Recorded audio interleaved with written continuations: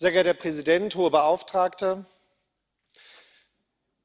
Ich bin als Christ in der sozialistischen Diktatur in einem oppositionellen Pfarrhaushalt groß geworden.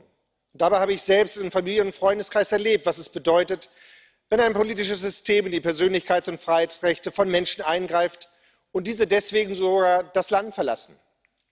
Ich begrüße es, dass wir uns heute hier mit der Lage der Christen im Nahen Osten befassen.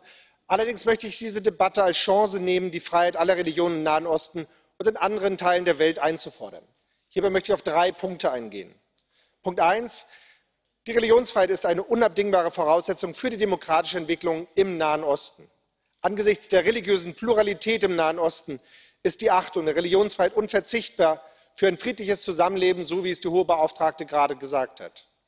Ich fordere die EU auf, gegenüber Ländern wie Saudi Arabien und Katar für die Rechte von Nicht und Andersgläubigen einzutreten, die dort leider mit Füßen getreten werden.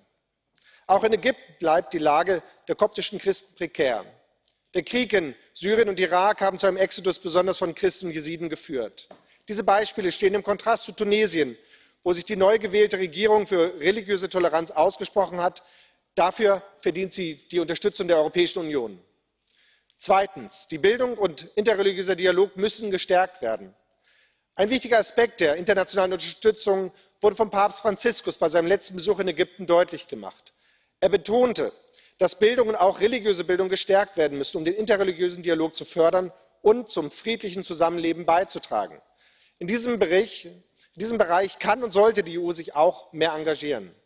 Drittens Das Recht einer und keiner Religion anzugehören ist universell und muss Maßstab der EU-Außenpolitik sein. Artikel 18 der Allgemeinen Erklärung der Menschenrechte legt diese Universalität der Religionsfreiheit fest. In diesem Haus gibt es dazu einen breiten Konsens. Auf meine Initiative haben Kollege Rainer Wieland und ich 2015 einen Aufruf zum aktiven Handeln gegen die weltweite Verfolgung religiöser Minderheiten und für die Verteidigung der Religionsfreiheit als Menschenrecht veröffentlicht. Diesen Beschluss haben 28 Mitglied, äh, sozusagen Mitglieder dieses Parlaments aus 28 Ländern unterstützt. Als letztes möchte ich das Beispiel der Verleihung des letzten Sacharow-Preises anwählen. Das Europaparlament hat zwei Vertreterinnen der jesidischen Minderheiten im Irak und in Syrien hier eindeutig unterstützt.